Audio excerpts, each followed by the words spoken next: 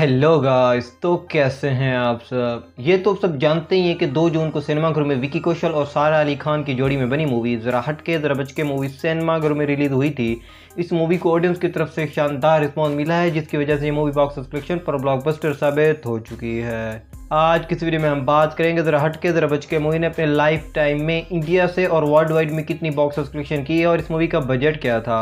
और ये movie box subscription पर हिट साबित हुई है फ्लॉप तो वीडियो आखिर तक ज़रूर देखना और चैनल को भी ज़रूर सब्सक्राइब कर लेना। तो बिना टाइम वेस्ट किए चलो वीडियो शुरू करते हैं।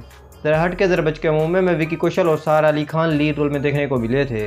अगर बात करें इस मूवी की बॉक्स कलेक्शन की तो इस मूवी ने पहले 28 दिनों में इंडिया से बयासी करोड़ की नेट कलेक्शन कर ली थी। इस तरह इस मूवी ने पहले 28 दिनों में वर्ल्ड वाइड 108 करोड़ की बॉक्स कलेक्शन कर ली थी। अगर बात करें इस मूवी के बजट की तो इस मूवी का बजट था 40 करोड़। अगर बात करें इस मूवी की लाइफ टाइम के बॉक्स कलेक्शन की तो ज़रा हट के ज़रा बच के मूवी ने अपनी लाइफ टाइम में इंडिया से अट्ठासी करोड़ तीस लाख की नेट कलेक्शन कर ली है। इस तरह इस मूवी ने अपनी लाइफ टाइम में ग्रॉस से 103 करोड़ सात लाख की बॉक्स कलेक्शन कर ली है।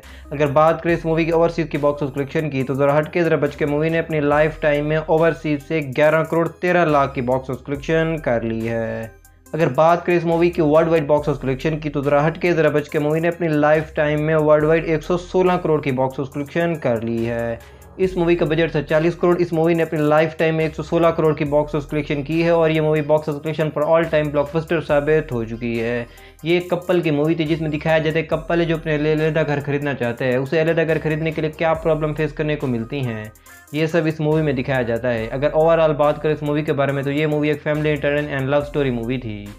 2023 में तो आप जानते ही हैं, बहुत सी मूवीज़ रिलीज़ हैं। कुछ मूवी बॉक्स सब्सक्रिप्शन पर हिट साबित हुई हैं और कुछ मूवी बॉक्स सब्सक्रिप्शन पर फ्लॉप साबित हुई हैं। यहाँ तक कि 500 करोड़ के बजट में बनने वाली आदि पुरुष मूवी भी बॉक्स सब्सक्रिप्शन पर फ्लॉप साबित हो चुकी है और ज़रा हट के ज़रा बच के मूवी चालीस करोड़ के बजट में बनने वाली मूवी थी और ये मूवी बॉक्स सब्सक्रिप्शन पर ऑल टाइम ब्लॉकबस्टर साबित हो चुकी है।